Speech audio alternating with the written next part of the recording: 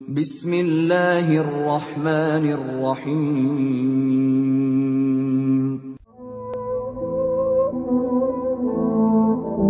Baik, Bismillahirrahmanirrahim. Assalamualaikum warahmatullahi wabarakatuh.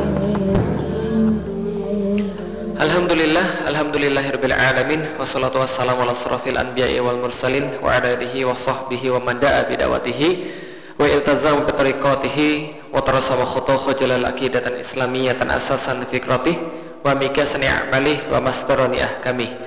Asyhadu an la ilaha illallah, asyhadu anna Muhammadan abduhu wa rasuluhu la nabiyya ba'da. Wa qala Allah Ta'ala fil kitabihil karim, a'udzu billahi minasyaitonir rajim. Bismillahirrahmanirrahim. Wa ukhra lam taqdiru 'alaiha qad ahadallahu biha wa kana Allahu ala kulli syai'in qadir. Alhamdulillah, puji dan syukur senantiasa kita panjatkan pada Allah Subhanahu wa taala, penguasa langit dan bumi dan yang memberikan manusia janji demi janji yang janji ini pasti akan Allah tepati. Dialah Allah, tiada Tuhan selain Dia. Kepadanya lah kita menyembah, kepadanya lah kita memohon, karena kepadanya lah kita akan dikembalikan pada satu saat yang tidak ada keraguan di dalamnya. Salam dan salam semoga tercurah dan terlimpahkan kepada baginda Nabi besar Muhammad sallallahu alaihi wasallam yang juga telah menuntun kita ke sebuah jalan yang kita yakini bahwa inilah jalan yang paling benar karena beliaulah penghulu segala kebaikan. Dan tiada yang datang daripada perbuatan beliau perkataan beliau dan juga diamnya beliau selain daripada kebaikan-kebaikan yang itu pasti adalah wahyu daripada Allah dan mudah-mudahan kita senantiasa mengikuti itu sampai dengan ajal menjemput kita amin Alhamdulillah Bapak Ibu sekalian dan juga adik-adik sekalian yang insya Allah dirahmati Allah jadi pada hari ini teman-teman yang masih muda mendapatkan kesempatan kita akan sedikit membahas tentang satu tema yang berjudul Muhammad Al-Fatih Siapa di sini yang nggak ngerti Indonesia? Ngerti semua ya? Oh anak kecil-kecil kurang. Nah kalau anak kecil-kecil kurang, biarlah nanti ibunya yang menceritakan. karena betul, karena kita nggak bisa afford untuk mendapatkan seluruh segmen.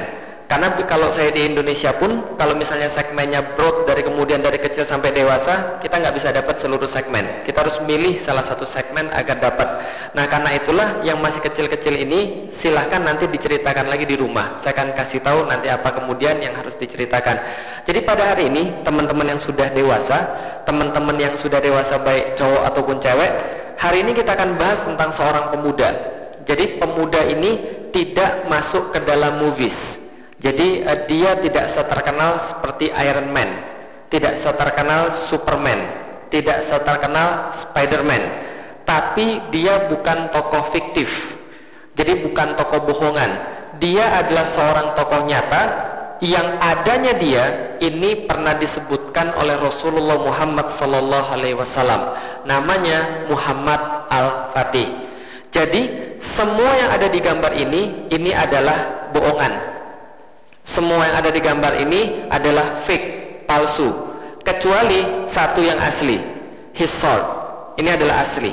Ini pedangnya Muhammad Al-Fatih yang sampai sekarang masih ada di Istanbul, Turki. Nah, jadi pedangnya ini ukurannya satu setengah meter dan di tengahnya bertuliskan ayat-ayat Al-Quran, Bapak Ibu sekalian. Nah, tulisannya apa? Nanti kita akan bahas kalau nanti ada pertanyaan. Nah, pertama-tama sebelum saya ceritakan tentang Muhammad Al-Fatih, ada satu hal yang saya pengen Bapak Ibu sekalian dan adik-adik memahami. Jadi di dalam Islam, Bapak Ibu sekalian, ada satu hal yang tidak ada di agama yang lain. Apa satu hal ini? Namanya bisyarah. Apa itu bisyarah? Bisyarah adalah kabar gembira. Kabar gembira yang datang daripada Allah dan Rasul kepada umatnya, kepada manusia tentang kejadian yang terjadi di masa depan. Jadi about the event that will occur in the future. Ini adalah namanya bisyarah. Tapi belum bisa dilihat oleh manusia. Kita belum bisa lihat karena itu masih di masa depan. Tapi Allah dan Rasul memberitahu kepada kita tentang itu. Maka itu jadi kabar gembira buat kita. Contoh misalnya. Ketika Allah menyampaikan buat manusia tentang surga. Surga yang seluas langit dan bumi dan katanya di surga itu seluruhnya serba hijau. karena terdapat tumbuh-tumbuhan yang ada di sana sangat lebat, pohon-pohonnya sangat rindang, buah-buahnya bisa diambil dengan tangan. Itulah surga. Di dalam surga itu ada satu hal yang lebih menarik lagi bagi laki-laki, bagi bapak-bapak. Apa itu? Bidadari, Bapak sekalian. Dikabarkan bidadari di surga itu lam yatmithunna insung qablahum walajan. Tidak pernah tersentuh, never been touched by a man nor jin. Jadi tidak pernah tersentuh oleh manusia ataupun oleh jin. Disediakan bagi orang-orang yang bertakwa kepada Allah. Yang kabarnya Bapak Ibu sekalian, bidadari-bidadari ini kalau betisnya aja kesingkap, betisnya aja kelihatan, itu kalah bulan purnama dan seluruh isinya Bapak Ibu sekalian. Itu baru betisnya doang Bapak Ibu sekalian, belum yang lain itu kan ya. Nah, ini adalah bagian daripada bisyarah yang dijanjikan oleh Allah dan Rasul kepada umatnya. Dan kalau kita berbicara tentang bisyarah, ternyata bisyarah atau good news tadi, kabar gembira tadi, bukan hanya berkaitan dengan masalah-masalah akhirat, tapi juga berkaitan dengan masalah-masalah dunia. Misal, suatu waktu Rasul pernah mengatakan, Innallaha zawalil ardo wa ra'aitu masyariqaha wal magharibaha wa inna ummati sayablugu mulkuha ma zawali minha. Rasul katakan begini, aku pernah diperlihatkan oleh Allah bumi yang aku lihat dari ujung timur sampai ujung barat dan umatku kelak akan menguasai dari ujung timur sampai ujung barat. Berarti ini adalah sebuah bisyarah bahwa Islam akan menguasai dunia. Coba bayangkan Ibu sekalian. Jangan bayangkan tahun 2012. Imagine not in uh, 20 uh, sorry uh, 2012 uh, 2013. Tapi bayangkan pada abad ke-17 in 7th century, awal daripada abad ke-17. Ada seorang yang tinggal di timur tengah, padang pasir yang bukan siapa-siapa, tiba-tiba pagi hari dia bilang, "Kelak umatku akan menguasai seluruh dunia." Kalau kita hidup di zaman itu, what would we say? Kepada orang kayak tadi, Gila. Lu gila lu ya? Mana otaknya? Logikanya di mana? Mana mungkin bisa menguasai seluruh dunia? Itulah yang mereka katakan to our prophet kepada Rasul kita Muhammad. Rasul punya banyak maki-makian. Rasul punya banyak olok-olokan. Rasul punya banyak hinaan. Yang paling favorit di antara semuanya adalah al-majnun. Artinya orang gila. Itulah yang dikatakan kepada Rasul. Kenapa? Karena Rasul berbicara tentang sesuatu yang tidak dapat dilihat oleh mata dan tidak bisa dibayangkan oleh logika. Oke, kalau gitu saya pengen cerita satu cerita, tolong dibayangkan baik-baik. Bayangkan baik-baik, imagine that we live in the uh, awal 7th uh, century di Arab Saudi, desert, di mana-mana pasir. Itu kan ya? Nah, kita di situ nggak punya mobil karena awal abad ke-7 belum ada mobil, belum ada transportasi, belum ada apa pun. Tiba-tiba satu hari seorang bangun pagi kemudian tell us a story. Last night ada malaikat datang ke tempat saya, kemudian membedah dada saya, mengeluarkan jantung saya. Kemudian jantung saya dicuci dengan air zam-zam. Setelah jantung saya dicuci dengan air zam-zam, lalu dikembalikan lagi dalam dada saya. Ditutup seolah tidak terjadi apa pun. Kemudian saya dibawa untuk menemui satu binatang yang belum pernah saya lihat sebelumnya. Dia punya sayap panjang dan indah. Binatang itu lebih besar daripada keledai, lebih kecil daripada kuda. Kemudian saya naik ke atas binatang itu dan saya diterbangkan. Satu kepak, dua kepak, tiga kepak. Sampailah saya ke Masjidil Aqsa. Saya sholat dua rakaat di Masjidil Aqsa. Naik ke, kemudian ke Sidratul Muntaha. Bertemu dengan Allah face to face. Kemudian Allah menurunkan perintah sholat. Saya balik lagi ke Masjidil Aqsa. Lalu balik lagi ke Masjidil Haram. Semua terjadi all in one night. Kalau kita jadi orangnya itu yang mendengarkan, apa yang kita bilang? Gila. Gitu kan ya? Sebentar. Let us use our logic. Kita pakai logika.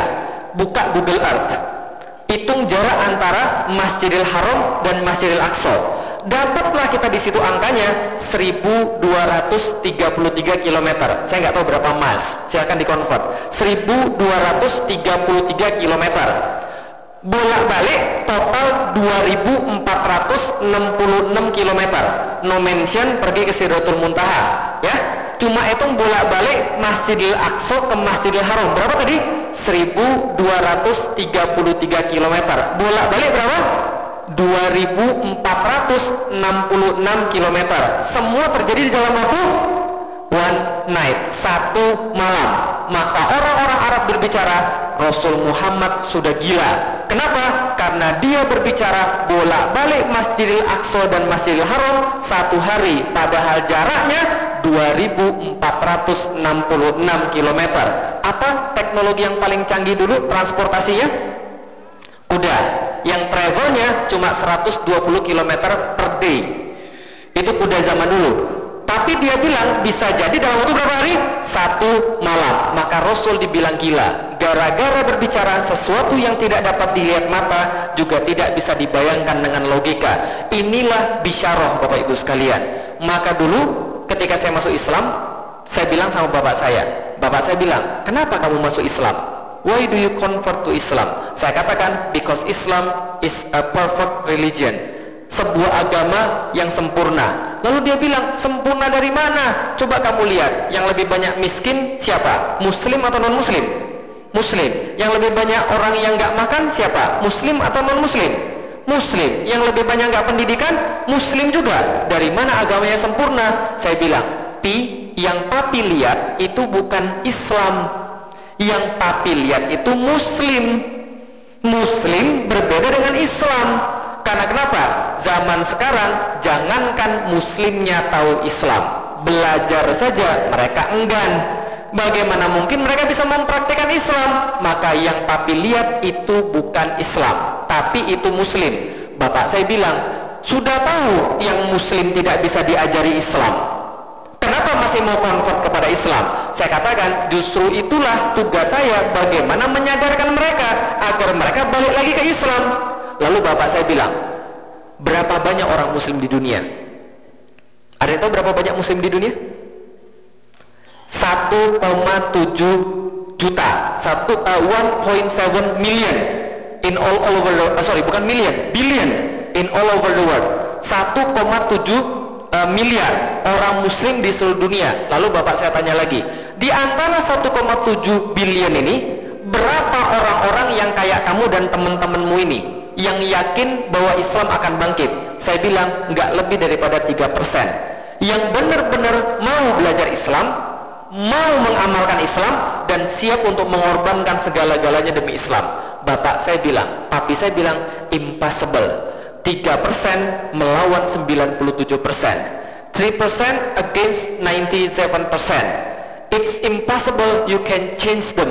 Saya katakan, kalau tidak mulai dari satu, kita nggak bisa merubah segala-galanya. Memang kelihatan tidak mungkin, tapi itulah janji Allah. Kalau tidak ada janji Allah, janji Rasul, saya sudah menyerah dari dulu Bapak Ibu sekalian. Kok bisa begitu? Wajar aja, ngomong Islam. Tiga hari, tiga malam nggak berhenti ngomong. Suara habis, tekapar, karena capek. Yang sadar berapa orang? Tiga orang, empat orang. Tapi sekali TV menayangkan sesuatu yang salah, anak-anak muda kita, remaja kita, bahkan orang-orang muslim termurtadkan pemikirannya secara tidak sadar. Karena TV-TV menayangkan yang salah. Betul begitu? Contoh, kemarin ada seorang feminis namanya Irsat Manji datang ke Indonesia. Kenal Irsat Manji? Belum kenal. Seorang feminis namanya Irsat Manji. Dia datang ke Indonesia dan dia bilang, "Don't judge the book by its cover." Jangan menilai orang dari covernya. Jangan melihat orang dari luarannya. Yang penting dalamnya. Percuma aja kerudungan kalau dalamnya jelek. Percuma aja kerudungan kalau dia uh, judes ngomongnya. Percuma aja kerudungan kalau dia tukang bohong. Maka nggak penting luarnya, yang penting dalamnya. Betul begitu ibu sekalian? Betul-betulan sesat ibu sekalian. Tapi karena mereka punya media, maka dia dipercaya. Kan itu kan ya? Kalau kita bicara tentang logika, sulit untuk merealisasikan Islam. Kalau kita bicara logika, kita punya apa? Duit gak ada. Kekuasaan susah. Kan itu ya? Sedangkan mereka punya duit, mereka punya kekuasaan, mereka punya media.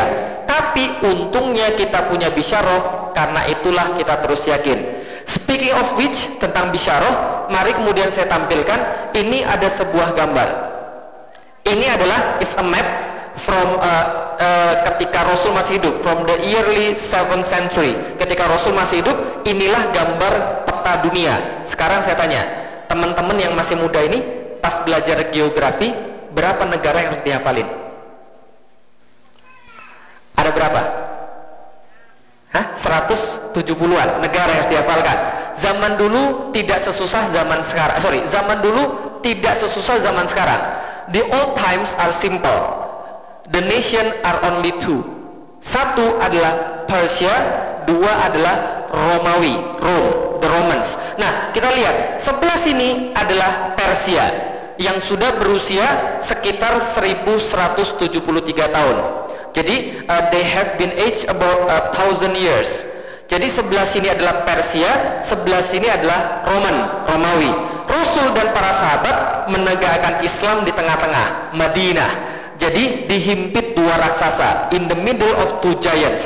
Uh, in the west is uh, sorry, in the west is Romans sudah ratusan tahun, hundred years.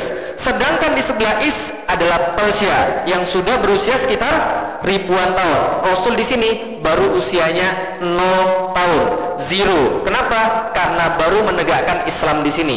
Di saat Rasulullah masih hidup, in the old times, ketika ditanya pada mereka, kalau kita tanya sekarang deh, kalau sekarang, which city you want to visit the most? Sekarang, Roma. Selain Roma apa lagi? France, Paris. Terus selain Paris apa lagi? England, London. Terus selain London apa lagi?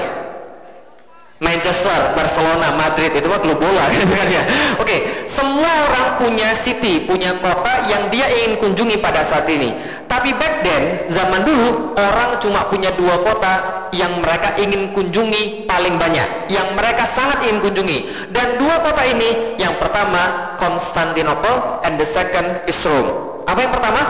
Konstantinopel. And the second is Rome. Kota Konstantinopel dan kota Roma, dua kota terkuat di dunia. Dua kota yang paling sering dikunjungi di dunia, dua kota yang paling indah di dunia, dan dua kota yang paling kuat di dunia, Konstantinopel and Rome. Kenapa Konstantinopel? Konstantinopel, sebuah kota yang kabarnya gereja di dalam kota itu lebih banyak daripada jumlah hari dalam setahun. Setiap jalan-jalan diperkeras dengan batu porfiri dan batu marmer. Sebelah kiri dan kanannya bangunan-bangunan menjulang. Dan yang paling hebat di antara uh, semuanya, di tengah-tengah daripada kota itu terdapat bangunan yang paling besar di dunia. The largest building in the world. The tallest building in the world, they call it Saint Sophia. Gereja Hagia Sophia. Saking hebatnya gereja Hagia Sophia ini, it's astounding. Seorang Rusia datang dari tempat dia, berjalan months, uh, uh, for months, berbulan-bulan, sampai ke Hagia Sophia, dia masuk ke dalam gereja. Saat dia masuk, ketika dia melihat interior Hagia Sophia, dia katakan, kami terpesona melihat Hagia Sophia. Dan saat kami masuk, kami sudah tidak tahu lagi, we are lost we, we don't know whether we are in earth or in heaven kata mereka. Kita nggak tahu apakah kita masih berada di bumi ataukah kita sudah naik ke uh, surga. Karena saking kerennya gereja ayah ayah Sofia. Itu yang pertama. Yang kedua Rome. Kota Roma.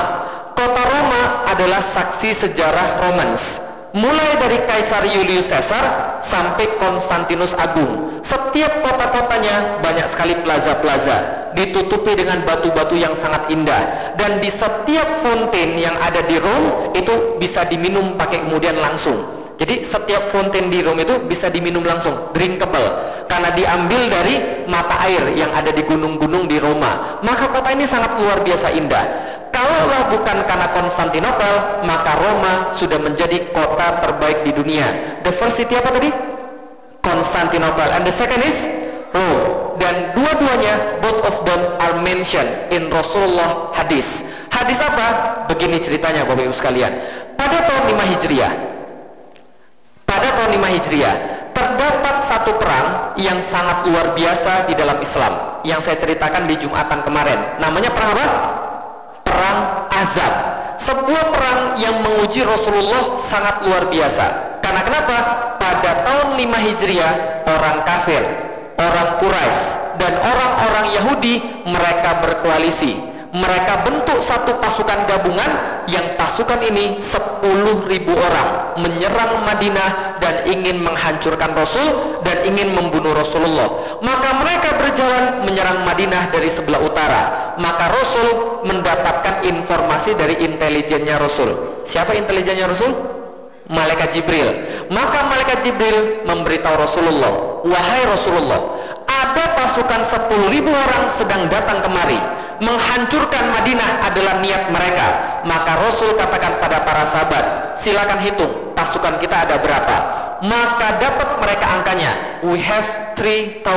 Berapa? 3000 pasukan. Sedangkan yang dilawan berapa? 10.000. Kalau pakai logika, if you use, use our logic, uh, who will win? 3000 atau 10,000? 10,000. Tapi Rasul katakan jangan menyerah. Silakan kalau ada yang punya usul. Salman Al Farisi raise his hand. Kemudian dia katakan, Rasulullah kami punya strategi.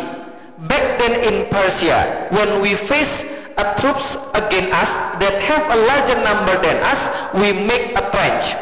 Kita akan buat parit yang menghalangi antara kami dan mereka sehingga mereka tidak bisa pindah ke tempat kami dan kita bisa panah mereka supaya mereka bisa berkurang pasukannya.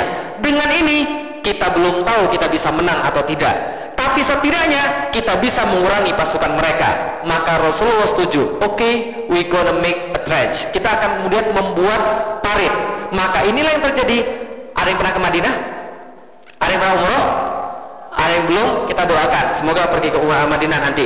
Nah, yang pernah pergi ke Madinah pasti tahu. Sebelah timur, eh, sorry, sebelah selatan, sebelah barat, dan sebelah timur Madinah, semua itu adalah gunung, Bapak Ibu sekalian. Satu-satunya wilayah yang bisa dimasuki adalah wilayah bagian utara. Maka Rasul memerintahkan membuat parit, made a trench that uh, length about 5 miles. Berapa? 5 miles 8 km. 5 mile itu kira-kira dari mana ke mana dari sini? 5 mile dari mana ke mana? Dari sini ke Hollywood, 5 miles. Nah itu kemudian dibayangkan, mereka buat parit 5 mil dari sini ujung sini 5 mil dan itu bukan di tanah sini, tanahnya tanah Arab. Tahu tanah Arab itu apa? Batu pasir itu yang mereka buat di tanah Arab. Panasnya luar biasa, panasnya mengerikan, tapi mereka buat di sana. Panas luar biasa, 5 mil mereka buat parit dan makanan mereka apa? Makanan mereka satu kurma dibagi bersepuluh. Jadi kita bisa lihat seperti apa tekanan para sahabat pada waktu itu. Maka wajar ada orang yang bertanya pada Rasul, Rasul, saya izinnya pulang dulu ke belakang nanti saya balik lagi setelah saya kasih makan istri saya. Tapi dia kabur, nggak balik lagi. Ada yang bilang, ya Rasul, saya pulang dulu sebentar. Ini anak-anak saya pada belum makan. Nanti saya balik lagi setelah saya kasih makan mereka. Mereka kabur, nggak balik lagi. Maka left with Rasulullah is ada dua golongan, two types of uh, of men. Satu Yahudi yang terpaksa. Siapa dia? Yahudi yang terpaksa. And the second is yang benar-benar beriman, the true believers. Siapa? Yang benar-benar beriman. Satu siapa tadi? Yahudi yang terpaksa. Yang kedua siapa tadi? Yang benar-benar beriman. Maka tatkala itulah, tatkala mereka sedang capek-capeknya, sedang lelah-lelahnya membangun parit, sedang putus-putus asanya, tiba-tiba ada yang bertanya pada Rasulullah, "Ya Rasulullah, besok yang akan kita taklukkan Konstantinopel atau Roma?" Coba bayangkan. Bingung. Oke, sekarang saya tanya. Mereka lagi ada di mana sekarang? Mereka lagi ada di Madinah. Gitu kan ya? Terpisah ribuan miles dari Konstantinopel dan Roma. Sahabat have never been in Constantinople or Rome. Sama sekali tidak pernah pergi ke sana. Mereka lagi ada di Madinah, lagi bangun parit berapa? 5 mile. Besok pasukan yang dihadapi berapa? Sepuluh ribu dan panas luar biasa. Satu korma bagi berapa makanya? Sepuluh orang lagi sulit di sini, besok mau dihajar sepuluh ribu pasukan. Sedang tidak tahu apa yang mereka lakukan. Mereka sedang kesulitan, tapi ada yang nanya, besok kira-kira kita akan taklukkan yang mana? Konstantinopel atau Roma? They talk about two cities which apa namanya paling kuat, yang paling hebat. Padahal mereka lagi kesulitan. Betul begitu? Nah kalau gitu kita lihat dulu sekalian. Coba kita lihat kenyataannya. Lagi susah membicarakan dua kota terhebat di dunia. Apa yang terjadi ketika itu? Yahudi yang ada di sana langsung tercengang. Hah? Apa tadi? Konstantinopel? Roma? Muslim is getting crazy. Because of the heat, gitu kan ya. Karena panas kemudian mereka, karena kurang makan mereka. Muslim sudah gila. Kita besok sudah mau mati, dihajar 10 ribu orang. Which city conquered first? Konstantinopel or Rome? Mereka sudah gila. Rasul mendengarkan olok-olokan Yahudi. Rasul mendengarkan mock from Yahudi, from the Jews. Maka Rasul berbicara menjawab pada mereka dan menjawab pada orang-orang Yahudi. Kotanya Heraklius akan dikuasai duluan. Kotanya Heraklius, the city of Heraklius will be conquered first. Kota Heraklius akan dikuasai duluan. Coba kita lihat Bapak Ibu sekalian. Rasul bilang nggak begini, udah deh jangan mikirin yang depan, jangan mikirin yang jauh-jauh deh. Sekarang aja kita belum menang. Sekarang aja kita susah. Apa yang Rasul katakan? Tidak. Konstantinopel akan dikuasai duluan. Berarti yang mana dia akan dikuasai duluan? Konstantinopel baru Roma. Oh sorry, saya punya versi tulisan bahasa Inggris di sini. Siapa tahu bisa membantu dikit. Sebentar, sebentar. Sabar ya. Allah saya orang sabar. Nah, ini Inggrisnya Inggris survival mood. Gitu kan dia. Sebentar, sebentar.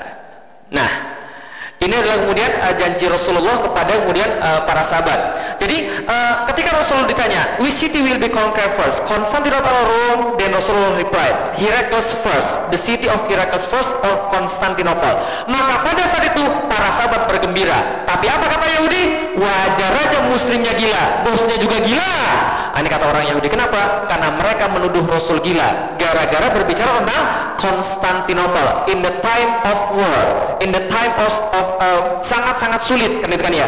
Ketika itu Rasulullah malah menjanjikan tentang kota Konstantinopel. Ceritanya selesai peperangan ini. Peperangan ini dimenangkan oleh kaum muslimin. Perang Ahzab yang mustahil dimenangkan ternyata dimenangkan. Cerita selengkapnya silahkan baca di surat Al-Ahzab dari surat 1 sampai terakhir. Itu kemudian ceritanya. Setelah menang perang, Rasulullah mengeluarkan hadis yang lebih horor lagi. Verily, Constantinople shall be conquered. Akan kalian taklukkan Konstantinopel. What a wonderful leader will the leader be. Ketika itu pemimpinnya adalah pemimpin yang terbaik. Fala ni'mal amiru amiruha, fala ni'mal jaisu zalikal jais.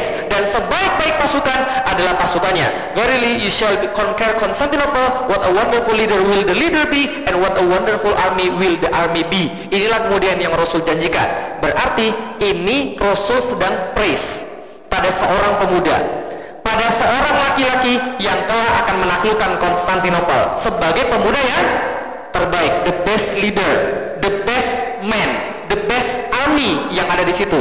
Kira-kira kalau kita ada di sana, mau nggak kita jadi orang yang dimaksud Rasulullah? Mau nggak kira-kira? Semua pasti mau.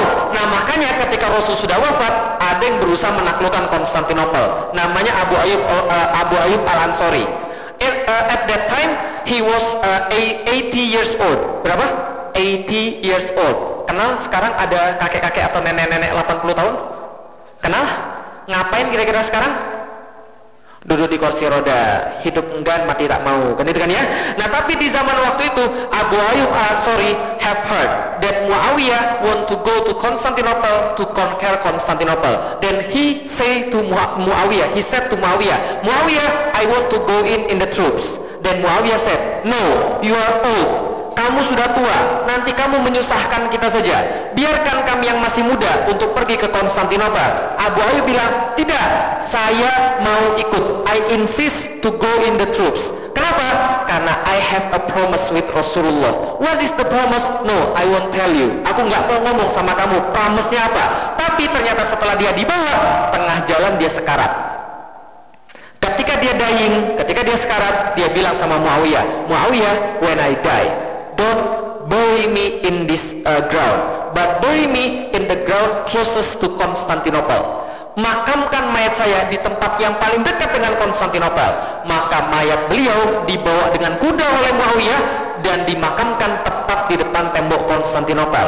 Karena apa promosi pada Rasulullah? Dia berjanji pada Rasulullah, dia akan mendengarkan gemerincing pedang dan derap kaki kuda pasukan penakluk Konstantinopel. Itu janji dia pada Rasulullah. Maka dia dimakamkan tepat di depan tembok Konstantinopel.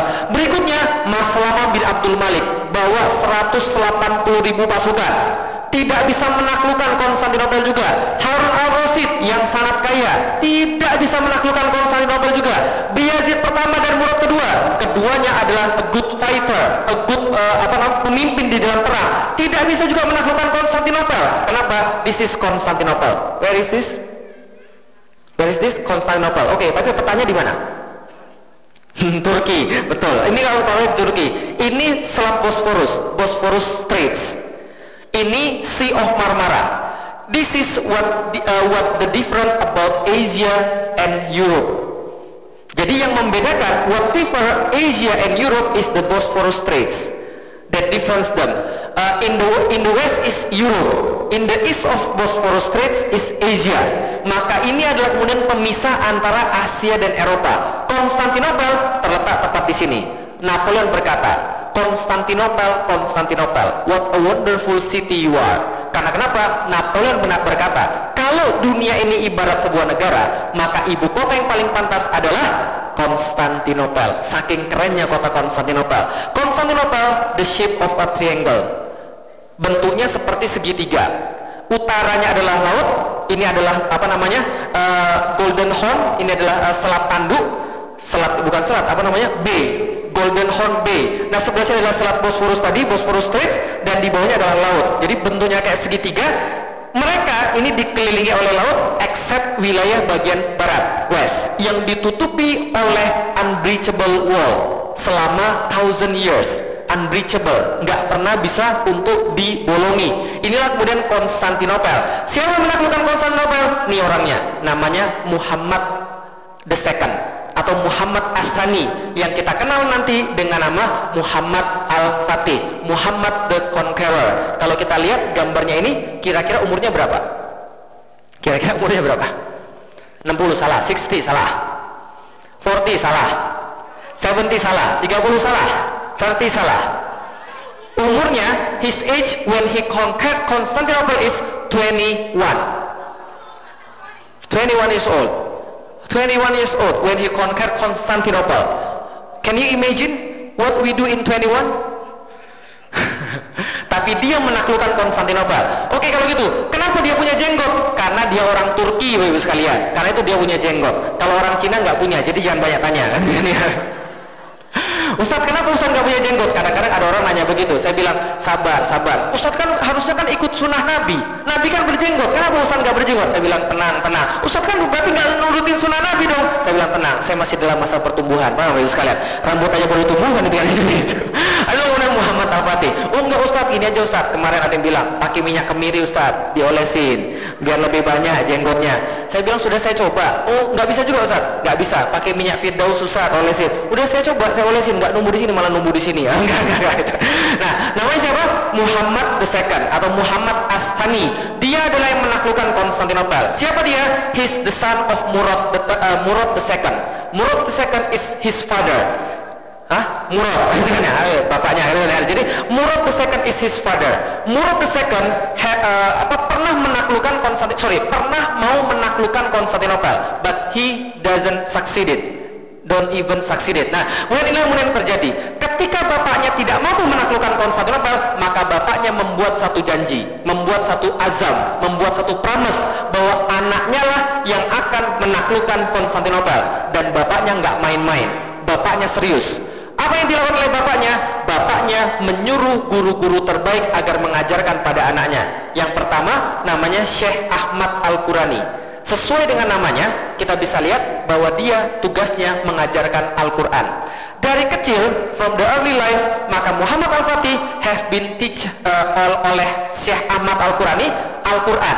Dan dalam umur 8 tahun, dia menghafalkan Al-Quran. Berapa umurnya?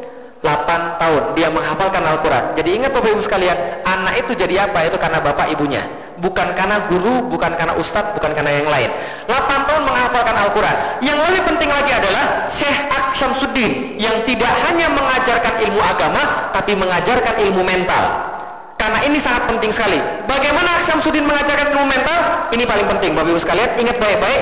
Aksyamsuddin mengajarkan ilmu mental kepada Muhammad Al-Fatih dengan menceritakan sejarah. Bedtime story. It's very urgent. It's very important. Bedtime story. Maka yang setiap hari diceritakan pada Muhammad Al-Fatih adalah kisah-kisah kepahlawanan. Heroic story. About Rasulullah Muhammad Sallallahu Alaihi Wasallam and his companions diceritakan pada kemudian Muhammad Al-Fatih setiap hari bagaimana Rasul berperang, bagaimana taktik Rasul, bagaimana strategi Rasul, bagaimana akhlak Rasul. Semua diceritakan pada Muhammad Al-Fatih sehingga kepalanya penuh dengan kisah-kisah kesatria dan kisah-kisah kepahlawanan. Suatu hari Aksyamsuddin membawa Muhammad Al-Fatih melihat Konstantinopel dari kejauhan.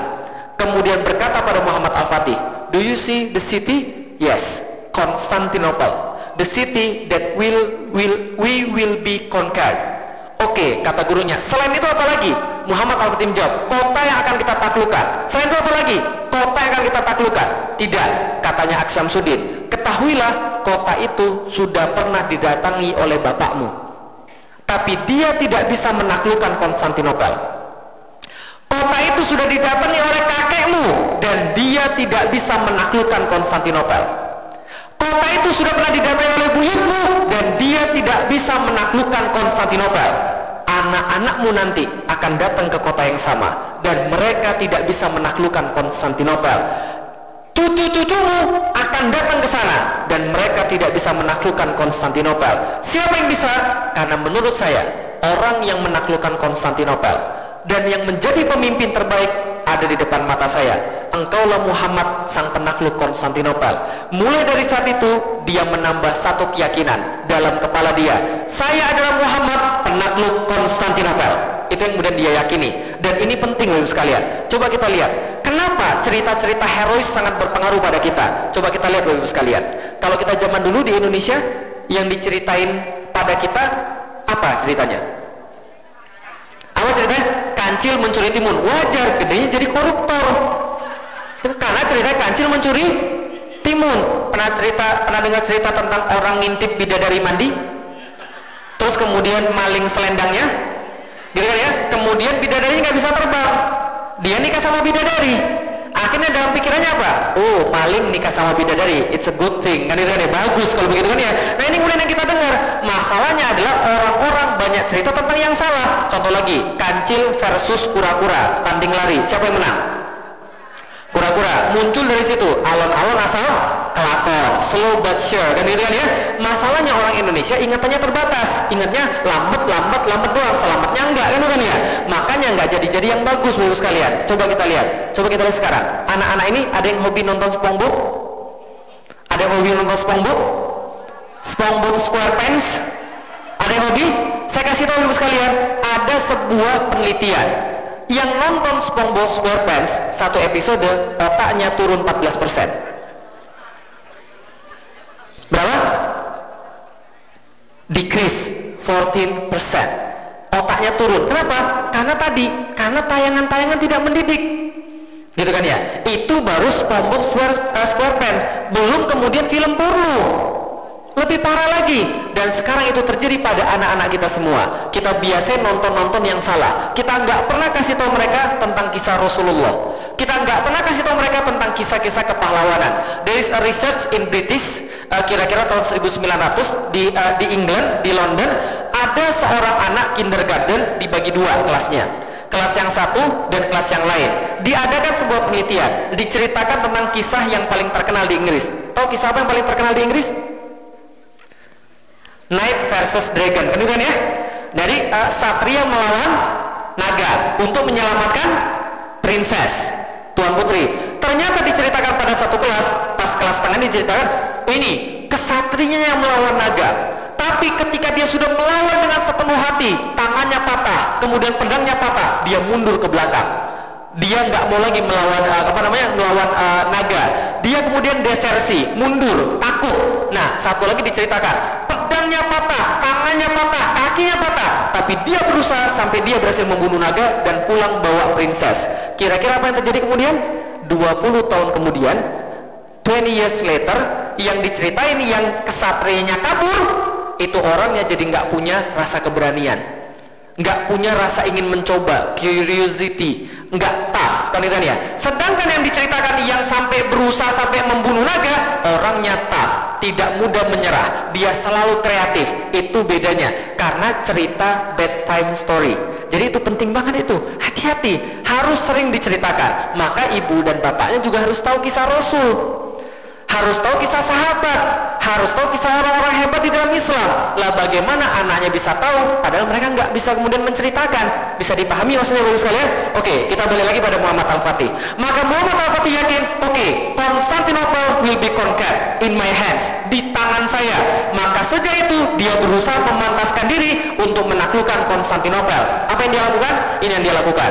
Dari semenjak kemudian dia uh, sudah meyakini itu, dia master 8 bahasa ketika berumur 16 tahun. Berapa bahasa? Eh, sorry, 16 tahun. 8 bahasa. Berapa yang dia kuasai? 8 bahasa. Ketika berumur berapa? 16 tahun. Kita sudah berapa bahasa kita kuasai? Tiga bahasa Indonesia, empat lah ya, bahasa Indonesia, bahasa Inggris, bahasa Jawa, bahasa isyarat, kan ya? Nah dia 8 bahasa ketika berumur 16 tahun dan semua 8 bahasa umum yang digunakan di dunia, Latin, Yunani, kemudian bahasa Persia, bahasa Arab, bahasa Turki, bahasa ibunya, kemudian bahasa bahasa Jus, bahasa Yahudi, bahasa Serbia dan bahasa Prancis. Dia kuasai 8 bahasa. Dan apalagi yang lebih hebat adalah semenjak dia balik hingga dia dia meninggal, dia tidak pernah sekalipun meninggalkan sholat rawatib dan sholat tahajud. Kenapa? Karena dia tahu tadi hadis Rasul yang masih ingat Constantinople will be conquered by whom? The best leader the best leader is the closest to Allah. How can one, uh, someone close to Allah then he don't do tahajud? Enggak mungkin. Maka dia kemudian dawamkan tahajud dia agar dia dekat pada Allah, agar dia bisa menjadi panglima yang terbaik. Dan tidak hanya itu, dia bentuk pasukan yang terbaik, namanya The Royal Janissaries. Ada di sini anak-anak yang main game Age of Empire? Sudah out to date ya? Age of Empire tahu? Nah, pernah pilih Ottoman? Ottoman, the Ottoman. Nah, this is their special forces, the Royal Janissaries, the forces that the strongest until the World War One. Ini kemudian pasukan yang paling kuat sampai Perang Dunia Pertama, pasukan Inkisaria dalam bahasa Arab. Alfa dikumpulkan? Sekitar 7.000 pasukan, mengelompokkan mereka dalam setiap barat, dan setiap barat dikasih satu ulama dan recite Al-Quran, recite hadis, agar mereka mentalnya adalah mental mujahid. Maka orang-orang di situ tujuan tertingginya adalah satu, bagaimana caranya menjadi orang yang bisa berjuang di jalan Allah dan kalau bisa mati di jalan Allah. Ini adalah pasukan Inkisaria. Dan dia juga bentuk namanya benteng Rumeli Hisar. Benteng apa ini? Oke, okay, back to the map. Di mana ini? Di mana ini? Turki. Lebih tepatnya di mana? Selat Bosphorus. Muhammad Al-Fatih had said to his troops, if we serious want to conquer Constantinople, we have to block the straits. Because of what? When we not blocking the straits, ada bala tentara, ada bala bantuan yang datang dari sini dan membantu kota di bawah. Ini kotanya, shaped like a triangle. Maka kalau kita tidak block ini straight, maka ini akan kemudian mendapatkan bala bantuan dan bala tentara. Maka Al-Fatih bilang, this is a must. We have to block the straits. Lalu bagaimana caranya? Gampang. Buyutnya pernah bangun benteng di sini. Jadi his great grandfather have made a fortress here. The name is Anadolu Hisar. Hisar means fortress. Anadolu means Anatolia. Anatolia itu apa ya? Asia kecil. Lalu kemudian Anadolu Hisar. Nah, Muhammad Al-Fatih have planned to make a fortress across his grand grandfather fortress. Namanya Rumeli Hisar. When he had planned to make this fortress, maka datang kemudian peringatan dari Konstantinopel. Eh, Muhammad Al-Fatih, kamu ini orang mana sih? Membangun benteng di tanah orang, nggak pakai izin pula. Tahu nggak dulu, buyutmu, your great grandfather, when he made that fortress, he make permit to us, like a son to his father. Kata Raja Konstantinopel. Maka kemudian Al-Fatih reply, dia reply begini, urusanku, urusanmu, urusanmu. Wilayahmu adalah yang terdapat di Konstantinopel dan dilindungi oleh pagar-pagarmu saja. Selain itu, bukan wilayah siapa pun. If I want to make the fortress here, is my business, not your business. Dan kalau engkau mention tentang sultan-sultan sebelum saya, maka ketahuilah, sultan yang sekarang berbeda dengan sultan yang kemarin. Apa pun yang tidak bisa mereka lakukan, akan saya lakukan.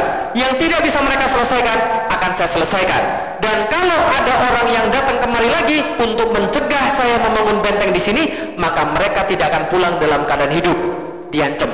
Gak jadi kemudian kemudian mereka gak jadi lagi ke sana dan bentengnya dibuat across berhadap-hadapan.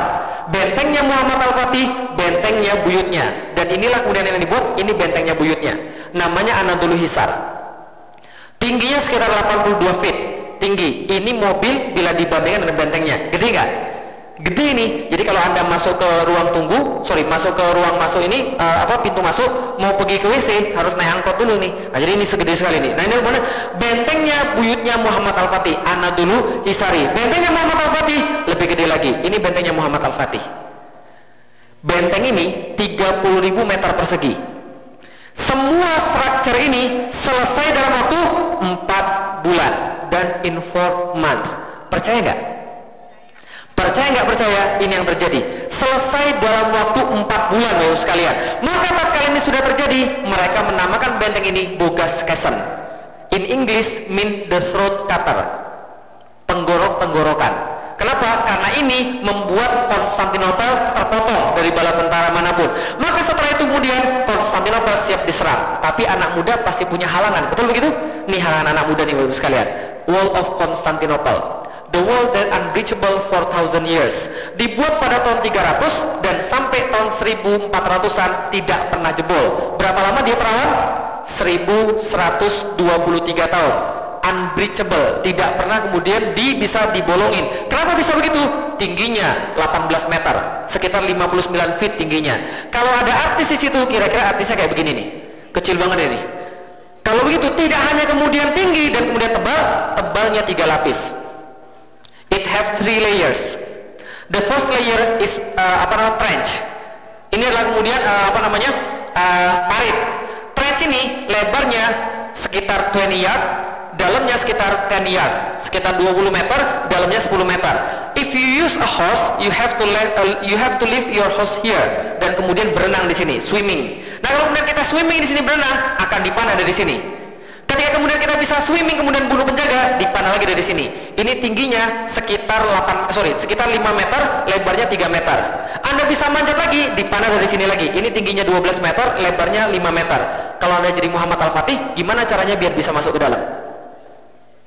Gimana caranya? Biar bisa masuk ke dalam. Gimana? Hah? Bakar. Bakar apanya? Bakar temboknya. Ini 3 meter tebalnya sama 5 meter. Gimana bisa dibakar? Gimana caranya? Dekat tunnel. Oke. Kita lewat pakai tunnel ke bawah. Setuju begitu? Oke. Sudah ada yang sudah pernah coba dekat tunnel dan ternyata mereka berharap bisa muncul di sini. Ternyata orang Konstantinopel is smarter. Mereka pasang di sini baskom. Apa bahasa Inggrisnya baskom? Hah? Hah? Bol. Itu kan mangkok. Oh ya. Mereka pasang ya itulah. Pokoknya mereka pasang ember, baskom, apalah pun namanya. Mereka pasang baskom di situ dan mereka isi air. Setiap satu meter satu baskom. Jadi kalau ada yang digging tunnel di bawah, airnya akan bergetar, shaking. Deret, deret, deret, deret, deret, deret. Dia tahu siapa yang gali dan akan muncul di mana. They dig the counter attack tunnel, disiram ter, dibakar di bawah hidup-hidup. Not a, not a good idea. Ada ide yang lain? Ada ide yang lain? Gimana lagi kira-kira? Terbang. Belum ada pesawat Bapak sekalian. Terus gimana lagi kira-kira? Kita sogo aja penjaga pintunya. Emang Indonesia Bapak sekalian? Gak bisa Bapak sekalian. Nah, Muhammad al tahu, if he use the uh, the old ways, maka dia tidak akan pernah bisa menembus Konstantinopel. Maka dia berkata, kita harus punya cara baru. Tapi bagaimana caranya? Dia nggak tahu. Yang dia tahu dia bertawakal pada Allah. Wa yattaqillah yaj'allahu makhrajan. Siapa yang yakin pada Allah, Allah akan kasih jalan keluar. Maka betul, pucuk dicinta ulam tiba. Bahasa Inggrisnya apa tuh? Gak ada kan ya? Pucuk dicinta ulam tiba. Suatu hari ada seorang seniman senjata datang ke negeri Konstantinopel. Datang ke negeri Konstantinopel, dia menawarkan rancangan senjata buat Kaisar Konstantinopel karena satu akidah. Maka dia bilang, bos, gue punya senjata nih bos, mau bikin nggak bos? Kaisar melihat lalu bilang, bagus juga senjata lo, berapa bikinnya? Bikinnya segini, materialnya ini. Kalau mau kita bikin sekarang juga. Sorry pak, kita pengen banget bikin senjata anda, tapi kita lagi tidak punya duit. Kita nggak punya uang. Kamu tunggu aja di sini. Nanti kalau kami sudah punya uang, kami bikin senjata anda. Tadi pembuat senjata si Orban nunggu di situ selama satu tahun dan dia nggak dapat dapat kemudian ingin membuat senjatanya. Kaisar belum bikin juga. Akhirnya dia pergi ke tempat orang yang punya duit. Dia pergi ke tempat Muhammad Al Fatih. Kemudian dia bilang yang sama, bos, gue punya senjata nih bos. Mau bikin nggak senjatanya? Muhammad Al Fatih langsung bisa begini. Can you make a, a weapon that can throw a projectile as big as this? pakai tangannya. Can you make a weapon that can throw a projectile uh, as big as this? Pakai tangannya. Kemudian Orban menjadi curiga dan dia bertanya, apakah engkau berniat ingin menghancurkan tembok Konstantinopel? Karena Orban berpikir, if there is a weapon that can throw a projectile as big as his hand, maka tembok Konstantinopel will be useless. Maka kemudian Al-Fatih menjawab, kalau iya, kenapa? Orban menjawab, kalau iya kebetulan, Ibu sekalian. Saya sudah tinggal di sana satu tahun. Saya tahu setiap sudut-sudut tembok dan kita bisa menembus tembok Konstantinopel. Maka dibuatlah senjata Orban dan ini adalah rancangan senjatanya. Namanya The First Super Gun, The Basilica Cannon. Inilah kemudian senjatanya. Kalibernya 0,7 meter. Berapa feet itu? 0,7 meter berapa feet? Sekitar dua setengah feet. Itu itu kemudian lingkarnya itu sekitar dua setengah feet. Beratnya 18,2 ton panjangnya 5,2 meter, jarak tembaknya 1,6 km, dan sekali muntah 680 kg. Kebayang nggak sekalian? Dan sampai sekarang senjatanya masih ada. Masih ada di mana? Di Museum Fort Nelson, Portsmouth, Inggris. Lo kok bisa ada di Inggris? Karena ada orang-orang di Inggris, ratunya minta agar ini dikasih ke sana. Karena dia menganggap this is a canon that influence the history. Maka kemudian dia minta sana. Nah sebesar apa ini kemudian meriamnya? Kalau ada artis kira-kira artisnya kayak begini. Nah ini bagus sekalian.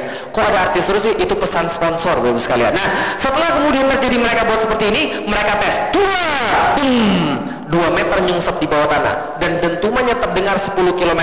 Maka apa dikatakan? Bagus, bagus, bagus. Sekarang tolong buatkan saya ukuran yang dua kali lipat. Ya gimana caranya? Pokoknya terserah kan kamu seniman senjatanya. In one year, Orban made for Muhammad Al-Fatih 69 cannon, 69 meriam. Yang rata-rata gedenya kayak begini. Satu 5,2 meter, satu 8,4 meter, and the other is average about 3 uh, 3 to 4 meters. Inilah kemudian panjangnya 69 meriam dan semua diberangkatkan pada 6 April 1453. 6 April 1453, Al-Fatih menyerang Konstantinopel dan Konstantinopel the shape of triangle. Bentuknya seperti segitiga. Atasnya laut, sebelah sini laut, sebelah sini laut dan ini adalah tembok tiga lapis yang tadi kita lihat tembok tiga lapis tadi bukan 100-200 meter, tapi temboknya tujuh setengah kilometer, five miles. Kebayang nggak maksudnya? Jadi five miles ini, if you standing here, you see to the right, uh, to the left, then you see until the end of your side semua tembok. Lihat ke sebelah right, until the end of your side semua tembok. Itulah Konstantinopel sekalian. Maka Muhammad Al-Fatih menyerang dengan tiga cara. Dia serang lewat tiga cara. Sebelah uh, barat dia serang lewat tembok Konstantinopel. Sebelah selatan dia berusaha menyerang lewat Laut Marmara. Dan dari sebelah timur dia berusaha masuk ke dalam Golden Horn Bay. Dan apa yang dia lakukan? Dia kerahkan 400 kapal untuk menembus Konstantinopel dari sebelah uh, lautan. Dan itu jumlah yang lumayan banyak pada saat itu.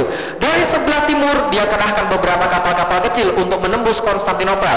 Dan dari kemudian sebelah barat total 250 ribu pasukan berjalan dari Adrianopel menuju Konstantinopel dalam jangka waktu dua bulan dan sampai di depan Konstantinopel pada tanggal 5 April 1453. Berapa?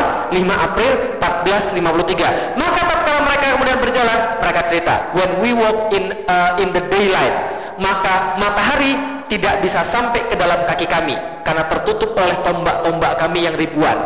Dan ketika malam hari, maka kami tidak bisa melihat bumi karena tertutup oleh kemah-kemah kami. Itu kata pasukan mereka. Setelah mereka sampai ke depan Konstantinopel, orang Konstantinopel giliran menceritakan, we see the Muslims. Kita melihat Muslim spread across us, mendatangi kami like a river of steel, seperti sungai dari besi, karena baju mereka memancarkan cahaya matahari. Dan apa namanya meliputi kami spread uh, spread uh, to us from shore to shore. Dari pantai sampai ke pantai. Maksudnya apa nih? Dari pantai sampai ke pantai. Semuanya muslim ibu sekalian bisa kebayang nggak? Luar biasa kan ya? Nah pada tahun 1453 Muhammad Al-Fatih majuin kemudian ke Konstantinopel. Dia diskusi dengan pemilik Konstantinopel dan mengatakan serahkan kota kepada kami surrender the city and all will be uh, guaranteed tidak ada kemudian yang dibunuh, tidak ada yang akan kemudian dirampok, tapi serahkan kota kepada kami secara damai. Maka rajanya berkata, lebih baik kami mati Kemudian Al-Fatih berkata, so be it. Kalau begitu biarlah terjadi. Tanggal 6 April 1453, Al-Fatih membariskan pasukannya satu setengah kilometer daripada tembok kota. Cukup jauh untuk dipanah, tapi cukup dekat untuk disaksikan setiap pasang mata di Konstantinopel. Maka pada saat itu juga dia melakukan sebuah pertunjukan keimanan. Pada tanggal 6 April 1453, bertepatan dengan hari Jumat. Mereka melakukan sholat Jumat di depan tembok Konstantinopel sebagaimana Rasulullah tatkala masih hidup, dia selalu memulai peperangan ketika hari Jumat. Tahu kenapa? Karena setiap hari Jumat kaum muslimin berkumpul dan berdoa, maka mereka mendoakan pasukan yang ada di depan. Dan karena itu Allah pasti menurunkan pertolongan. Lemahnya pasukan kemudian menyerang lewat tiga arah. Yang menang siapa Bapak sekalian? Muhammad Al-Fatih atau Konstantinopel? Muhammad Al-Fatih atau Konstantinopel yang menang? Konstantinopel, betul. Konstantinopel menang total. Apa yang terjadi? Pasukan Muhammad Al-Fatih kalah total. 400 kapal hancur dengan hanya 27 kapal. Dengan apa yang kemudian mereka mulai menyerang dari sebelah timur dipasang rantai segede kingkong sehingga kapal-kapal nggak ada yang bisa masuk. Terus kemudian gimana? Kemudian dari sebelah barat meriam ditembakkan satu demi satu, tapi baru ketahuan kelemahannya. Apa kelemahannya? Tembak dua hancur kemudian seporsi besar dinding, tapi baru ketahuan kelemahannya. Apa kelemahannya? Reloadnya tiga jam sekali. Jadi nggak jadi urusannya. Tembak dua hancur semen, tembak hancur semen, tembak hancur semen. Urusannya nggak selesai-selesai. Tembak hancur repair, tembak hancur repair lagi. Nggak selesai-selesai masalahnya. Mereka tadi menyerang tanggal berapa tadi? 6 April. 6 April mereka menyerang. Sampai tanggal 20 April tidak tersisa secercah pun kemenangan. Yang terlihat pile of body semakin banyak. Yang terlihat pasukan semakin banyak yang meninggal. Logistik semakin berkurang. Dan orang-orang semakin muncul rasa keraguan. Maka mereka mulai muncul suara-suara sumbang. Tahu suara sumbang? Pulang aja yuk. Kayaknya kita nggak mungkin menang deh. Ini gara-gara Muhammad Al-Fatih ini, kita jadi banyak yang mati nih. Coba kalau dia kemudian tidak gegabah. Coba kalau dia tidak mau menaklukkan kota ini. Kita kan nggak banyak yang mati. Al-Fatih tahu pasukannya kemudian moralnya down. Dia kumpulkan seluruh komandan-komandan, kemudian dia bilang, "Oke, okay, say something to me. Are we continue our fight or we flee?" Kemudian kita pulang. Kemudian para pasukan berkata, diam semuanya, nggak ada yang berani berkata. Satu doang yang ngomong, gini, Muhammad Al-Fatih orangnya jenggotnya panjang, sudah putih semua, rambutnya juga sudah putih semua karena dia sudah paling senior. Dia bilang begini, gini, saya punya usul. Saya adalah penasihat dari zaman bapakmu. Betul begitu? Ya. Kalau begitu, saya menyaksikan kamu dari kecil tumbuh menjadi dewasa. Betul begitu? Iya. Maka dengarkan kata-kata saya. Saya menyaksikan engkau tumbuh menjadi seorang manusia yang luar biasa hebat. Engkau panglima terkuat muslim sampai dengan sekarang. Engkau tidak ada yang menyaingi. Engkau paling hebat di antara kami. Engkau adalah pemimpin masa depan umat muslim. Karena itu saya melihat bahwa pada kali ini pasukan kita sudah banyak mati. Sebelum pasukan kita habis, kita pulang aja dulu ke rumah. Muhammad Al-Fatih nggak setuju. Tapi sebelum orang tadi selesai ngomong, meja dibanding. Seorang mualaf namanya Zagonos Pasa. Dia mengatakan, jangan dengarkan kata-kata dia. Sedangkan dia ingin memadamkan semangat dalam diri kita. Sesungguhnya kita datang kemari, saya perlu ingatkan, bukan untuk kembali, tapi untuk mati di sini. Tapi kalau dia bilang tentang orang-orang yang mati, kita menuju mati syahid. Itu keinginan kita.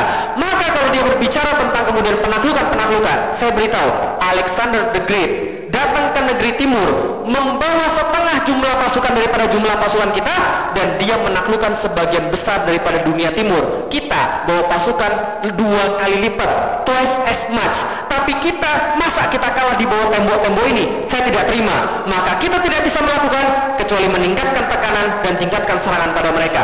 Lanjut atau tidak perangnya? Oke, saya minta sedikit waktu ya. Sudah jam 8 saya. Oke, mereka lanjut perangnya dan kita pun lanjut. Oke, kalau gitu mereka bilang, kita sekarang menyerang mereka lewat tiga arah. Dari selatan kita serang lewat lautan. Dari sebelah timur kita serang lewat lautan. Dari sebelah barat kita serang lewat barat. Tapi semuanya gagal. All of them fail. Lalu gimana caranya? Ada satu penasihat bilang begini, gini Pak, kenapa we fail in the west? Karena setiap ada kerusakan, they repair it. Setiap ada kerusakan, they repair it. Karena the most of them, the defense force is concentrated in the west. Karena itulah ketika ada kerusakan, mereka repair lagi.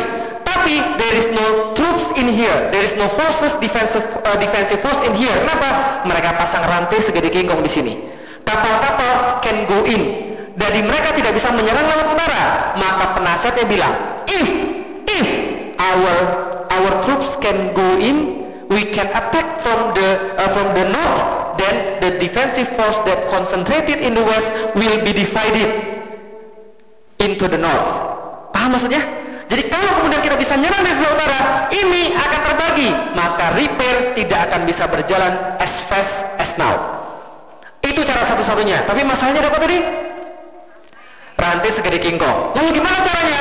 Semua mengusul. Gimana caranya kalau ada ini rantai segede kingkong? Gimana caranya? Supaya bisa masuk.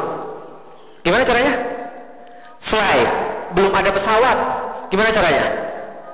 Potong. Rantai segede-gede begini oh, sekalian. Itu rantai kapal itu. Nggak bisa nyelam. Emangnya lumba-lumba? Nggak bisa. Terus gimana lagi kira-kira? Tabrak pakai kapal. Kapalnya karam. Terus gimana caranya? Semua pasukan putus asa. Stalemate. Jalan buntu. Al-Fatih katakan pada mereka, tenang, jangan merasa menyerah. Kita ini adalah pasukan paling kuat karena kita beriman pada Allah. Saya sudah memikirkan ini dari semalam dan saya punya solusinya. Gimana solusinya? Nih solusinya. Al-Fatih berkata, kita kan punya kapal. Kapal kita ini, let park our ship into the Galata. Kita akan parkirkan kapal kita di Galata. Setelah kapalnya kita parkirkan di Galata, maka kapalnya kita angkat. Setelah kita angkat, kita balikin lagi. Sekarang kapal kita sudah di lautan kan? Pasukannya berkata, betul juga ya. Kenapa kita nggak kepikir dari tadi ya? Tapi mohon maaf Sultan, apakah Sultan lupa kalau Galata ini sebuah bukit? Al-Fatih katakan, saya tahu itu adalah sebuah bukit. Tapi kalau kita tidak pernah membayangkan, if we can imagine that we can across our ship into the Galata, then nor the Constantinople. Orang Konstantinopel juga tidak akan mampu membayangkan. Maka ini adalah strategi sempurna. Ingat Rasulullah. Rasul selalu melakukan unexpectable, surprise attack. Maka ini adalah satu satu yang kita lakukan. Maka pada, pada tanggal 21 April 1453 disepakati kapal-kapal akan dipindahkan melalui Bukit Galata. Dan esoknya apa yang terjadi? Esoknya suatu kemustahilan berubah menjadi sebuah keajaiban strategi perang. 72 kapal pindah dari Selat Bosforus kepada Selat Tanduk dalam waktu satu malam. Berapa kapal pindah? 72 kapal pirata perang pindah dari Selat Bosforus kepada Selat Tanduk dalam waktu just one night, satu malam. Berapa kapal pindah? 72 kapal. Tanggal 22 April 1453. Maka orang-orang Konstantinopel naik ke atas menara. Mereka melihat ke atas Bukit Galata. Yang mereka saksikan adalah apa? Horor. Bendera la ilaha illallah Muhammad Rasulullah berkibar di atas Bukit Galata. Tatkala mereka saksikan ke bawah, yang mereka lihat adalah pemandangan yang merenggut nyali mereka semuanya. Kapal-kapal perang satu persatu berbaris menuruni wilayah mereka. Yang mereka anggap wilayah paling aman berubah menjadi wilayah paling berbahaya bagi mereka.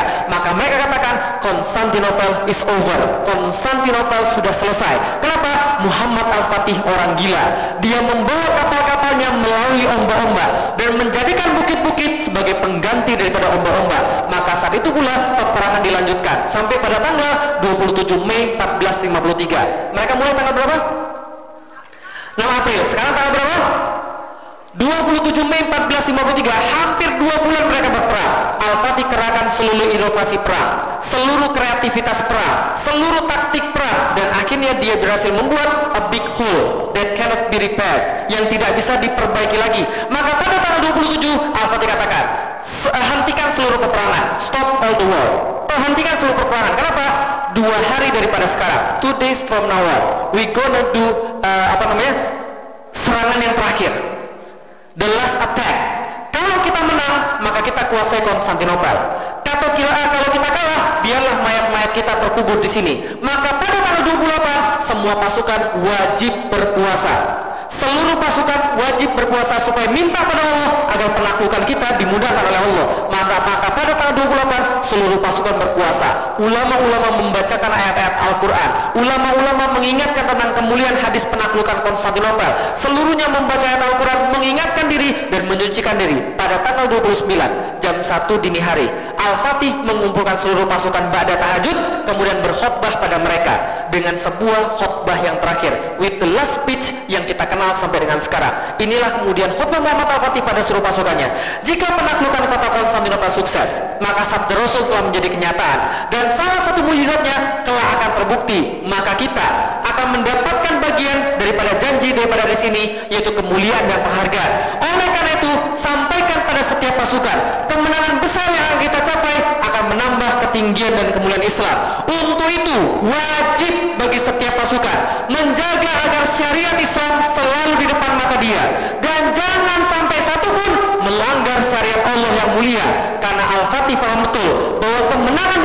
bukan diakibatkan oleh kekuatan dia bukan diakibatkan oleh taktik dia tapi oleh izin dan pertolongan Allah. Maka dia kata jangan maksiat. Karena maksiat itu menunda pertolongan Allah. Maksiat itu membuat Allah enggan menolong manusia. Maka Allah katakan jangan mengganggu orang-orang tidak berdaya. Jangan ganggu para pendeta. Jangan ganggu jangan ganggu orang yang bersembunyi di gereja. Jangan ganggu mereka semua. Kalau kita berhasil menaklukkan kota ini maka jam 2 dini hari pasukan diberangkatkan. 2 sampai jam 4 nggak berhasil. Jam 4 sampai jam 6 nggak berhasil. Jam setengah 7 pasukan Ingisaria dikeluarkan. Dan sebelum matahari bersinar dari sebelah timur the rest is history. Konstantinopel takluk di tangan kaum muslimin. Tanggal 29 Mei 1453 Al-Fatih masuk ke dalam gerbang kota dan mengucapkan Alhamdulillah semoga Allah merahmati para syuhada memberikan kemuliaan pada mujahidin serta kebanggaan dan syukur buat rakyatku. Mereka masuk dengan bendera la ilaha illallah Muhammadur Rasulullah. Al-Fatih langsung kemudian berjalan straight menuju gereja Hagia Sophia menuju Saint Sophia sampai di depan Saint Sophia dia mengagumi bangunan yang sangat luar biasa. Lalu tidak bisa menahan emosinya. Dia turun dari kudanya bersujud ke arah Mekah kemudian mengambil segenggam tanah Konstantinopel menaruh ke atas kepala dia sebagai wujud bahwa dia hanyalah manusia yang terdiri dari tanah. Ketika dia selesai bersujud, dia masuk kemudian ke dalam gereja Sophia mendapatkan ribu orang menangis histeris karena mereka takut mereka akan dibunuh. Kenapa mereka takut mereka akan dibunuh? Pada waktu yang sama terjadi reconquista di Spanyol. Reconquista? They kill all the Muslims in Spanish, in, in Spain. Orang-orang Kristen kemudian datang pada Spanyol, mereka memberikan namanya Inquisition Court, Mahkamah Inkuisisi. Orang-orang Jus, orang-orang Muslim dihadapkan pada Mahkamah Inkuisisi, suruh ganti agama. Kalau mereka nggak mau ganti agama, mereka dibunuh. Maka itu terjadi di Spain. Orang-orang Konstantinopel takut bahwa Al-Fatih akan balas dendam pada mereka. Al-Fatih katakan, keluar kalian semua dari sini. Kami menjamin setiap orang yang ingin tetap tinggal di kota, kami jamin rumah mereka, kami jamin properti mereka. Yang ingin keluar dari kota, maka biarlah mereka keluar dari kota. Kami kawal sampai ke depan kota, tapi kami minta tempat ini dijadikan sebagai masjid. Tempat yang paling indah di dunia. The most astounding place on earth. Dijadiin masjid baru sekalian. Maka pada pagi itu juga dikeluarkan seluruh patung-patung. Dikeluarkan seluruh lukisan-lukisan yang tidak penting. Dibuatkan mimbar di tempat yang paling bagus. Kemudian pada waktu asar, semua sudah selesai. Dan asar pada tanggal 29 Mei 1453 berkumandang azan pertama, uh, pertama kali di kota Konstantinopel. Allahu Akbar, Allahu Akbar. Pertama kali sekalian. Dan sampai detik saya berbicara belum selesai Bu sekalian. Semua itu dilakukan oleh seorang anak muda berusia 21 tahun. Coba kita lihat. Konstantinopel takluk. Kayak sebuah dongeng ya. Kayak dongeng ya. Yang saya cerita ini bukan dongeng Bu sekalian. Ini kenyataan ini. Inilah izah kaum muslimin, kehormatan kaum muslimin ketika mereka masih memegang Islam. Tapi yang penting bukan cerita tadi, tapi yang penting adalah ini Bapak sekalian. Nih, 54 hari mereka perang. Berapa lama mereka perang? 825 tahun penantian. 80 years of waiting. 85 tahun penantian. Maksudnya apa? Semenjak keluar dari lisan Rasulullah, Latuftahanal Constantinia. Verily, Constantinople will be conquered. Berapa tahun setelahnya baru ditaklukkan? 825 tahun baru bisa ditaklukkan Bapak sekalian. Berapa tahun? 825 tahun. Coba bayangin baik-baik. Ketika Rasul mengatakan Konstantinopel akan ditaklukkan, saat itu orang Yahudi tertawa terbahak-bahak. Mereka guling-guling kegirangan karena Rasulullah sudah gila. 825 tahun kemudian ada orang yang terus percaya, terus generasi yang percaya sampai 825 tahun kemudian datang seorang anak muda 21 tahun masuk ke dalam kota dan mengatakan Rasul kami tidak pernah bohong. Berapa lama? 800 tahun, 825 tahun mereka membuktikan. Kalau gitu kita bertanya, kita sekarang hidup di zaman di mana Islam banyak. 1,7 miliar umat muslim, tapi nggak membuat perbedaan apa pun. They don't make any difference. Apa rahasia mereka? What are they secret? Apa rahasia orang-orang hebat di dalam Islam? Ini rahasia mereka. They believe in something that cannot be seen by eyes. Mereka percaya pada sesuatu yang tidak dapat dilihat oleh mata. Masalah kita, penyakit kita adalah kita menilai segala sesuatu dengan mata. Betul begitu? Ah, ini nggak mungkin. Nggak mungkin. Itulah kerjanya orang Yahudi. Melihat cuma dengan mata. Kalau Islam tidak, dia percaya pada Rasulullah. Walaupun tidak bisa dilihat oleh mata. Contoh, kenal sama Sumayyah? Do you know Sumayyah? Siapa Sumayyah? Bukan, bukan Fir'aun. Siapa Sumayyah? Sumayyah is a mother, sorry, Sumayyah is the mother of Amru bin Yasir. His mother is Sumayyah and his uh, his husband named Yasir. Yasir and Sumayyah have a son named Amr bin Yasir. Amr bin Yasir go in Islam first. Then uh, he he apa namanya? Dia dakwah pada orang tuanya hingga orang tuanya masuk Islam. Tatkala orang tuanya masuk Islam, Umay Sumayyah and Yasir is a slave. Budak. Budak siapa? Umayyah bin Khalaf namanya. Tatkala Umayyah bin Khalaf found out bahwa Yasir dan Sumayyah convert to Islam, maka mereka kemudian ditarik di tengah lapangan dan mereka disiksa. They have been tortured. Amr bin Yasir is tied. Diikat menyaksikan dua orang tuanya disiksa di depan mata dia. Yasir disiksa dengan cara apa? They tied him to a horse in right hand and they tied him to a horse in left hand and the horse is apa namanya? Uh, jalan jalan di tempat yang berbeda, maka terbelah ke tengah-tengah. Ibunya Sumaya disiksa terlebih dahulu dengan cara apa? Dicambuk sampai kemudian sampai berdarah-darah. Lalu kemudian Umayyah mengatakan, Sumaya, said, your God is not Allah. Maka Sumaya meludahi Umayyah bin Khalaf. Tatkala Umayyah diludahi apa terjadi? Dia marah besar, he get angry dan he uh, apa namanya? Dia ambil tombak, spear dan spear itu kemudian ditusukkan dari kemaluan sampai tembus pada lehernya. Ditusukkan dari kemaluan sampai tembus pada lehernya. Tatkala itu terjadi, when it happened, Rasulullah lewat di depan mereka. Tatkala Rasulullah lewat, Rasul menyaksikan penyiksaan ini dan berkata, Isbir ala Yasir, innakum janatul masir. Sabar wahai keluarga Yasir. Have patience. Have patience the family of Yasir. Bagi kalian sudah disediakan surganya Allah. Tatkala Sumaya disiksa seperti itu, tembus dari kemaluan sampai lehernya, apa kata Sumaya? Ya Rasulullah, surganya sudah di depan mata saya ini. Coba bayangkan, yang dilihat malah surga, padahal lagi disiksa itu. Artinya adalah? Artinya adalah dia lagi disiksa, tapi yang dia lihat justru surga. Artinya adalah? Bagi dia, apa yang dia dengar dari Rasulullah lebih realistis daripada fakta di depan mata. Paham maksudnya? Sekarang di depan mata kita, banyak orang-orang bilang Islam nggak mungkin bangkit. Islam terpuruk di mana-mana. Tapi yakin Islam akan bangkit lagi? Yakin? Oke kalau gitu saya pengen cerita yang terakhir sebelum kita sholat uh, sholat maghrib bagus sekalian. Nih saya pengen cerita sedikit bagus sekalian. Nih 21 tahun menaklukkan Konstantinopel. Muhammad Al-Fatih. One man made a great difference. Satu orang membuat perbedaan yang sangat luar biasa. Tapi dari sini saya tulis 23 tahun. Kenapa? When I convert to Islam, I was 18.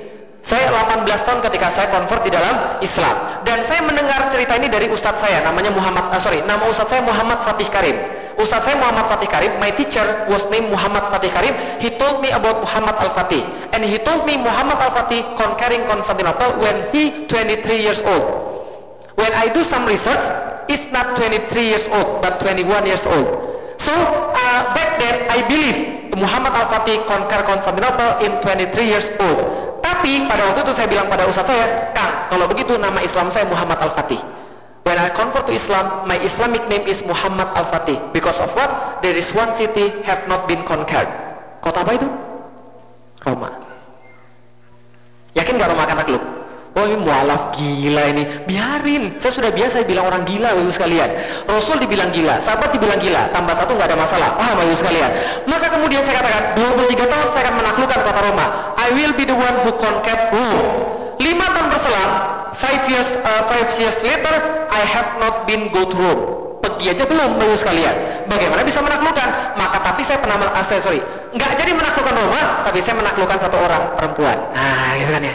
Jadi istri. Nah, sorry, uh, then I got a wife. I have married. Nah, setelah kemudian saya married, saya kemudian punya istri, saya bilang pada istri saya, Dek, kalau begitu mungkin kita bukan yang menaklukkan Roma, tapi anak-anak kita yang insya Allah menaklukkan Roma. Maka istri saya bilang, oke okay, kalau begitu. Dan saya bilang sama istri saya, kalau begitu kalau kita punya anak, kita namain dia Muhammad Al-Fatih. Supaya dia menaklukkan kota Roma. Ternyata lahir, Alhamdulillah. 2008 anak pertama. Perempuan. Kan ya. Saya nggak bisa namain dia Muhammad Al-Fatih. Kita kasih nama yang lain. 2010, Alhamdulillah. Asan. Anak laki-laki. Saya dapat anak laki-laki. Saya kasih mau, uh, kasih dia nama uh, I want to name him Muhammad Al-Fatih. After Muhammad Al-Fatih who conquer Constantinople. Ternyata di masa itu, my friend, all of my friend have son, they name it Muhammad Al-Fatih because uh, because they have read about Muhammad Al-Fatih. I tell them the story about Muhammad Al-Fatih. Uh, all my friends have their, uh, their son named Muhammad Al-Fatih dan macam-macam. Ustadz saya namanya Muhammad Fatih Karim. Tahu anaknya nama siapa? Nama anaknya Muhammad Fatih Alif. Saya tanya, lah kenapa Muhammad Fatih Alif? Dia bilang, Alif itu adalah yang pertama. Berarti dia duluan, yang lain belakangan. Ketika saya kasih nama Muhammad saya nggak jadi. Akhirnya saya kasih nama, saya bilang, Dek, nama anak kita yang lain saja. Jangan Muhammad Al-Fatih lagi. Kita harus kasih yang berbeda di antara yang lain. Akhirnya saya kasih nama anak saya siapa? Saya kasih nama anak saya Sifar Muhammad Al-Fatih 1453. Sifar means cipher, 0, 0, Muhammad Al-Fatih 1453. Ada angkanya? Yes, ada angkanya. Masuk akte kelahiran? Masuk akte kelahiran, Ibu sekalian. Serius. Saya bawa ke catatan sipil. Pak ini maksudnya apa Pak? 1453. Apa ini tulisannya panjang? 1453? Bukan. 1453. Tulis Pak. Wah Pak, saya 15 tahun Pak kerja di sini Pak. Belum ada Pak yang kayak begini Pak. Makanya buatlah sekarang juga. Waduh Pak ini susah Pak. Gimana kalau ujian nasional? Jangan mikir ujian nasional. Wirosa bilang aja boleh 212. Kenapa saya nggak boleh 1453? Akhirnya anak saya dikasih 1453. Kenapa? Bukan untuk gengsi, bukan untuk apa. Saya punya anak ketiga juga namanya Gozi Muhammad Al-Fatih 1453. Bukan untuk gengsi, bukan untuk apa. Perhatiin baik-baik baik sekalian. Tahu nggak? Alasan terbesar saya kenapa saya menulis buku.